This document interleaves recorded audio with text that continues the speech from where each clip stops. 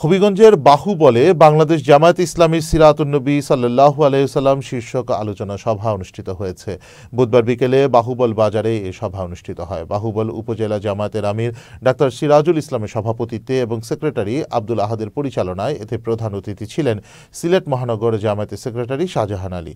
বক্তব্য রাখেন শ্রমিক কল্যাণ ফেডারেশন হবিগঞ্জ জেলা সভাপতি আব্দুর রফ বাহার, হবিগঞ্জ জেলা ছাত্র শিবিরের সাবেক সভাপতি মীর জমিল উন্নবী ফয়সাল সহ অন্যান্য নেতারা।